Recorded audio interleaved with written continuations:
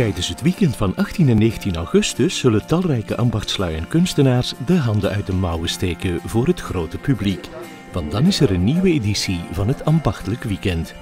Op niet minder dan 26 locaties in Sint-Niklaas kan je meer dan 85 ambachtslui aan het werk zien.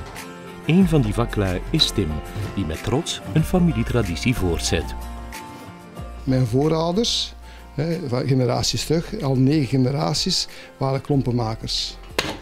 Van boom tot klompen, ik vond dat iets speciaals en ik wou dat blijven doen, de klompen maken en zelf gebruiken. De klompen, als die versleten zijn, dan kun je die nog gebruiken in je haardvuur om je te warmen. Dus eigenlijk is er geen verlies aan van boom. De klompenmakerij was ooit een belangrijke bedrijfstak in Vlaanderen. Nu wordt de stil in leven gehouden door een kleine groep gepassioneerden. Nu hebben we, laten we zeggen, één berg die klompenmaker is en dan een klompenmachine hebben, maar met handen zijn er misschien maar drie personen of vier personen die dat ongeveer kennen. En ik wil dat terug herwaarderen.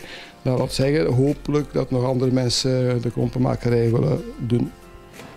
Naast de klompenmaker kan je ook nog veel andere ambachtslui aan het werk zien. In de tuinlaan 13 in Belzele werken buren al jarenlang samen om er een groot feest van te maken, met maar liefst 25 verschillende ambachten. Wij hier in de tuinlaan 13 in Belzele doen dit jaar voor de 30ste maal mee. Dus we hebben eigenlijk een beetje een jubilee dit jaar. En wij willen er dan ook wel eigenlijk iets speciaals uh, van maken. Het uh, thema dit jaar gaat rond vrede. En er gaat hier ook van alles te doen zijn rond vrede. Hier op de Hof komt een koor, komt er een koor vredesliederen zingen. En er is ook iemand, die een geschiedkundige, die komt uitleggen wat de vrede betekent hier in Belzile.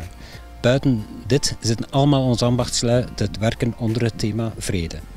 Op een aantal plaatsen zijn er workshops te volgen. Die zijn ook altijd heel leuk. Je kan ook op verschillende plaatsen van alles krijgen wat betreft catering. Bij ons hier bijvoorbeeld kan je hele lekkere pannenkoeken krijgen, lekkere streekbiertjes.